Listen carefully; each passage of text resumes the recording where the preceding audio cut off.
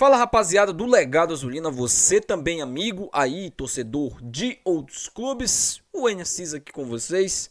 Hoje nesse vídeo a gente vai falar de dois jogadores que já estão fechados com o clube do Remo e se juntam aí a mais dois jogadores. A gente vai falar bastante sobre isso e das negociações avançadas do Remo, além, é claro, do time que está se preparando aí para enfrentar a Tuna. Antes eu peço para você, amigo, se inscreva aqui no canal, ative o sininho para receber essas notificações. Quando chegarmos aí, né, a 25 mil inscritos, três camisas do Clube do Remo para você. Você já comprou o seu veículo? Quer comprar ainda este ano o seu veículo e ainda quer ganhar mil reais de desconto? Vá lá nessa dos veículos, diga que você é inscrito no Legal Gasolina, que você vai ganhar esse descontaço aí de mil reais. Quando você chegar lá e for adquirir seu veículo, é só você dizer que é inscrito no Legal Gasolino para você garantir aí o seu desconto. Lembrando, né, que eles tem o maior, melhor atendimento ali, a melhor comodidade que você só encontra nesses dois veículos. Então vai lá de que você é inscrito no canal para ganhar esse desconto. E se você também quer comprar seu óculos, quer renovar sua lente, renovar sua armação, vá lá na Ediótica, diga que você é inscrito no Legado Zulino para você ganhar o seu desconto especial aí. É claro também que o atendimento da Ediótica é top, é uma das melhores óticas de Belém da região e você ainda vai ganhar ainda aquele descontinho camarada por ser inscrito no Legado Zulino. Vai na Idiótica, diga que você é inscrito no canal e ganhe aí o seu desconto também, meu amigo. Então, sem mais delongas, meus amigos, bora pro vídeo.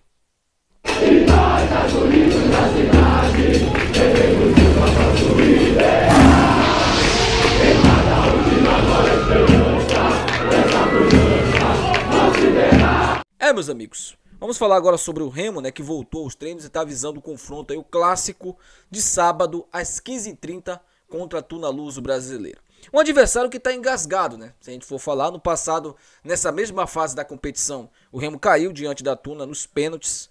Né? Foi dois empates, dois resultados iguais de 1 um a 1 um, e o jogo foi para os pênaltis. Lembrando que o técnico naquela ocasião era Paulo Bonamigo, então é a chance aí do Bonamigo, junto com os seus jogadores, de, de uma revanche, né? E de dar o troco para a Tuna. E claro, chegar à final do Campeonato Paraense para mais, mais uma disputa de mais um título do estadual aí.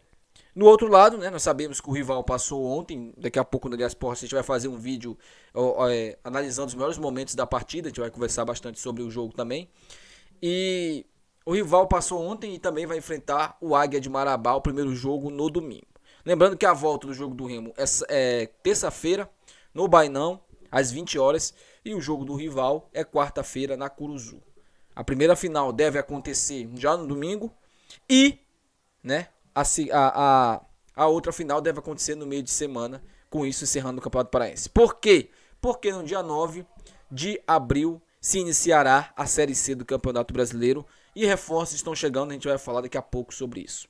Mas o que preocupa no Remo, é claro, é o lateral esquerdo Leonan, que está fora da partida, da primeira partida contra a Tuna, um jogador que vinha se destacando muito bem, né, no Remo, chegou aí, foi titular absoluto, mas sentiu um desconforto muscular e está fora desse confronto. A expectativa é que ele volte para o jogo contra a Tuna em Belém, né? Em Belém. Os, dois jogos serão em Belém, né? Mas estou falando do Bainão especificamente, que ele joga no segundo jogo contra a Tuna.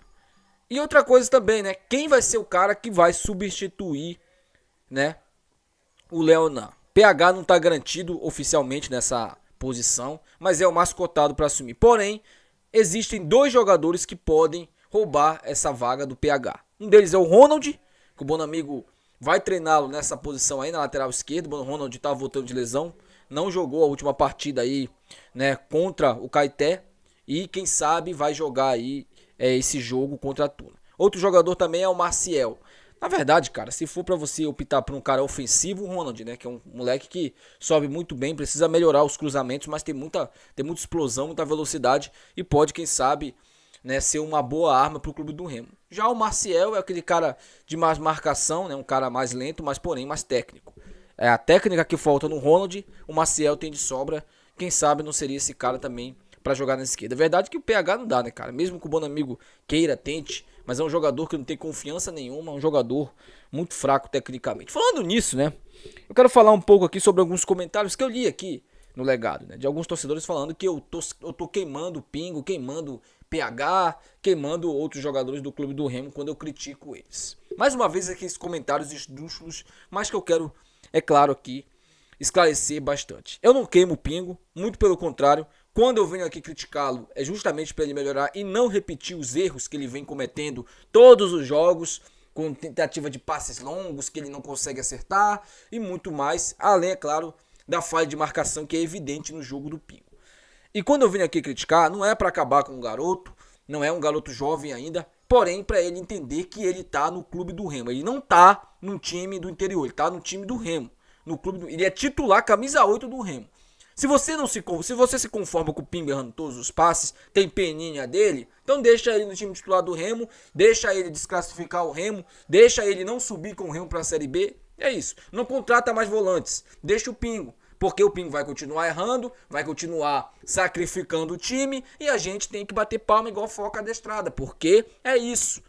É isso que o cara quer que eu pregue aqui. Que eu não critique o Pingo quando ele erra. Vou continuar criticando. Se você não gosta, meu irmão, existem outros canais aí passadores de pano. Mas a maioria deles vai criticar o Pingo. Porque não vem fazendo um bom, um bom campeonato no Remo. E muito se pergunta da titularidade do Pingo. Eu espero que nesse jogo contra a Tuna que ele vai jogar provavelmente. O Bonamigo não tirou ele quando ele estava mal. Imagine agora que o time meteu 4 a 0 Eu espero que ele melhore muito. Se ele jogar bem, irmão, assista o vídeo. Eu sei que você vai gostar muito. Você vai se satisfazer com o vídeo porque eu vou elogiar o Pingo.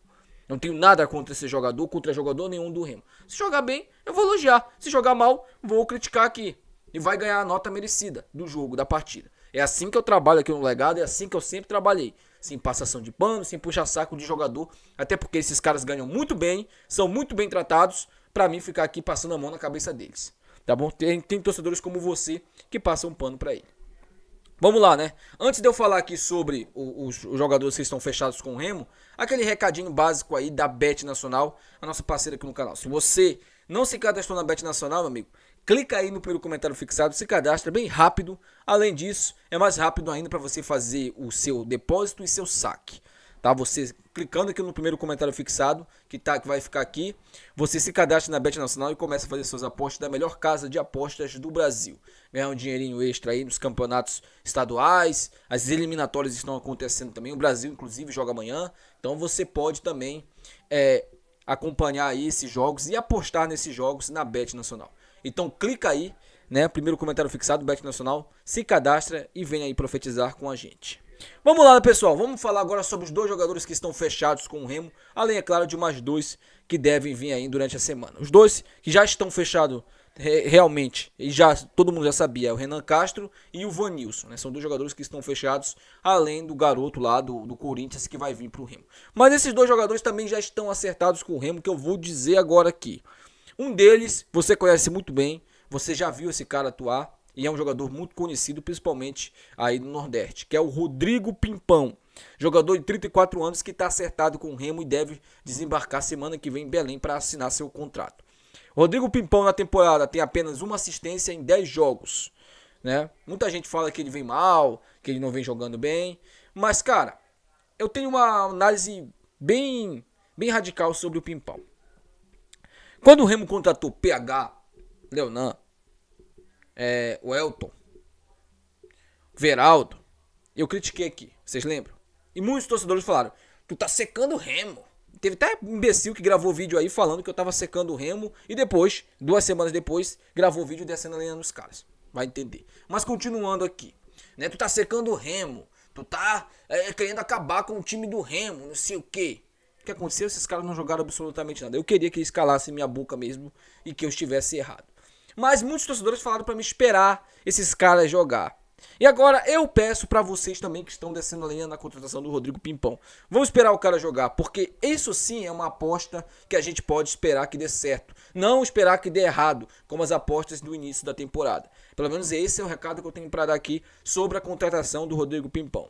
Tecnicamente é muito bom, vai agregar bastante no time do Remo tem 34 anos, é um jogador que fisicamente ainda está muito bem, né? Diferente, por exemplo, o Eduardo Ramos tem 35 anos. Poderia estar no Remo ainda? Poderia. Mas não, o cara não se preocupa fisicamente.